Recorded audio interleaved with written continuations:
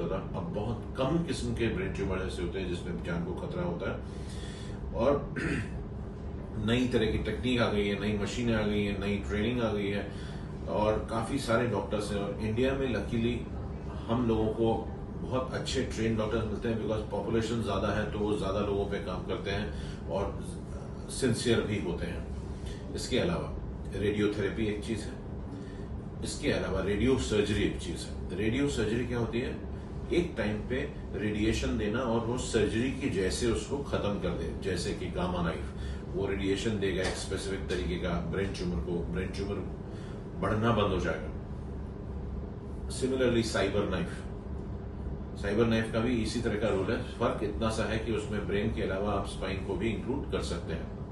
Proton beam therapy ये एक नई थेरेपी है, काफ़ी महँगी है और अभी तक ऐसे कोई फैक्ट्स पेश किसी ने नहीं किए हैं जिसके कारण हम ये सोच लें कि प्रोटॉन बीम बेस्ट है।